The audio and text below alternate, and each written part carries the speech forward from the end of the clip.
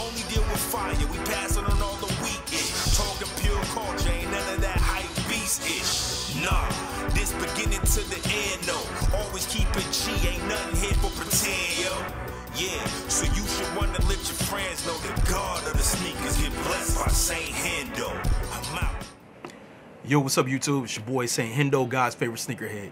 Um, so today, what we're gonna do is, um, first of all, I want to start by telling you guys I appreciate all the new subscribers. Um, I really, really do. Um, it- it's, it's been a long journey. We finally hit 1K, uh, which is a very proud moment. I didn't know thousand folks even cared about what I was doing, so I definitely appreciate it. Um, also, the um, I got a sneaker page. Um, I appreciate you guys for joining. Um, the link is in the description. I got a sneaker page, a meme page. It's very active groups. If you want to get in, by all means, hit the links in the description, and we'll do that. All right, so on to the video. So what we got going on is, so I'm gonna do a little series on here for all my Jordan pickups. So story time. So what happened is like I used to collect J's many many moons ago. I was like everything behind me you see that used to all be just Jordans. All right. So um, at one point I decided to stop buying Jordans. Uh, I started buying LeBron stuff. When LeBron came out, I decided from that point forward I was just gonna buy a lot of Brons. So I ended up selling all of my um, my entire Jordan collection and used that money to finance buying all of the LeBrons as they came out. So that's how I got my LeBron collection up. Um, so now I kind of want to get back into J's. Um, but since I got so many, since I let so many go, I I only I only had maybe one or two pair left. Um, so I'll be starting pretty much from almost zero. Um, so I'll do a, I'm doing a series now, which which is this. Uh, when I post J's of just me catching up buying J's that I like from previous releases over the years that I haven't gotten. So it's gonna be some old stuff, but it's stuff that I don't have um, that came out not only while I was um, transitioning to the LeBron the, to the LeBron line, but also that came out during the time that I was collecting LeBron's line. So it's, it's all kind of new to me. Um, just getting back into that technology and getting back into those days. because whether you want to admit it or believe it or not, Jordan's is all the original, not original, but all the Jordan silhouettes generally are, um, especially 1 through 14, 16 or whatever, those are old technologies. Nothing new about those. It's still the old stuff. They're not nowhere near as comfortable or uh, as well put together, so to say, as the newer sneakers that come out, LeBron's line or whatever. So um, the main reason people like to buy J's really is for nostalgia purposes. That's what makes the sneaker so dope. It's because no matter the technology, people still love them. So I mean, I'm one of those guys. I do. I love J's. I came up on Jordans. That was my bread and butter when I came up. So um, this will be the first one of the first videos in that series that I'm making.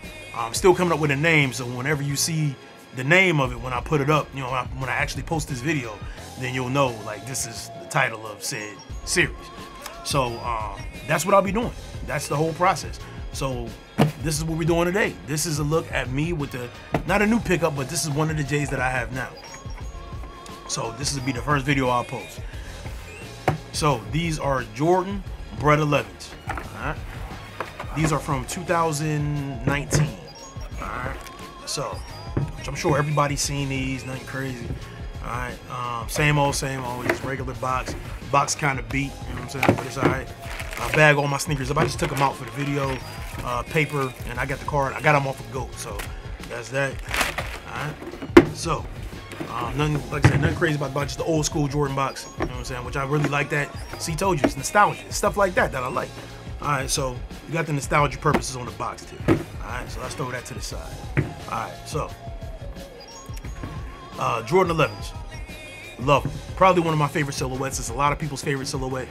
Um, but this particular one, like I really like um, the high cut patent leather on Jordan 11s. That's me personally. That's the original cut of Jordan 11s. I like those. It's not necessarily the fact that it's original. I just like the way it looks. I don't like the low cut patent leather on the side. I, I prefer that higher mid cut. Um, that's me personally. Everybody got their own thing about it. Um, but I love it. Like I, I, I, mm, I, I don't think. Not saying I wouldn't buy any J's that weren't um, that weren't a mid cut uh, patent leather for the 11s, but I prefer this this model. Uh, so yeah, but I always love this sneaker. Always these playoff joints.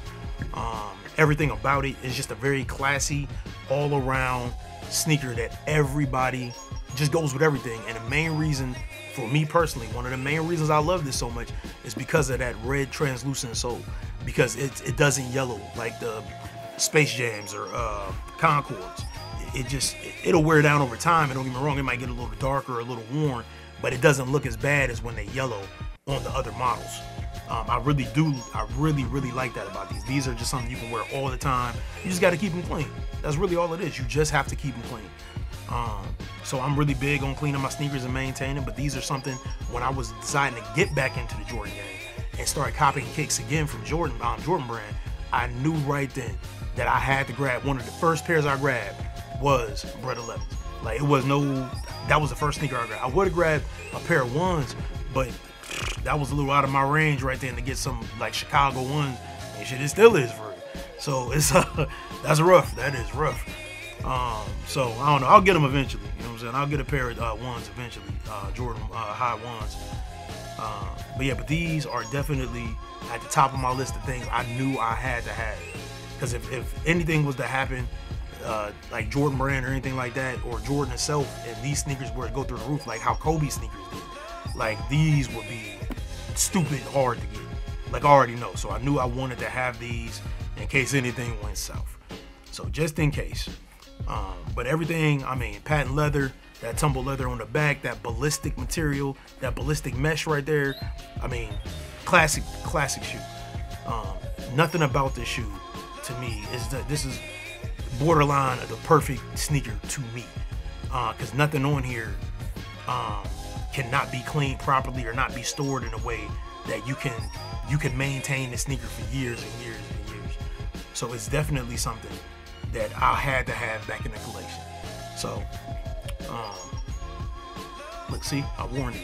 You know what I'm saying? I, I, had them out. I mean, I wear all my stuff eventually. Um, but yeah, but definitely had to have these. So this will be this will be a new series um, that I'll be doing. So you guys stay tuned. Um, there'll be plenty more to come. Oh uh, yeah, you know. Also, uh, I guess let me go ahead and show that piece. You know how people is. Got the uh, Got the red uh, shoe tree in there, the plastic one, Jordan Brown.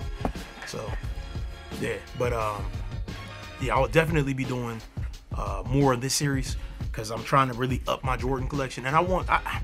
I don't necessarily like every J, but I do like the Jordans that you don't see all the time. I like kind of the weird silhouettes. I like different colors. I don't just want the OG colorways. I really want um, I, I, want stuff that that fits me. Like I want things I like. I don't want what everybody loves. Some things I do have that everybody loves.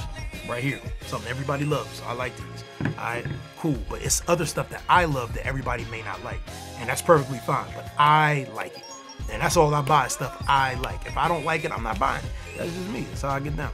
So uh, you guys enjoy seeing this stuff and all that. So I definitely want to be putting that kind of stuff out. So uh, it'll be more videos to come.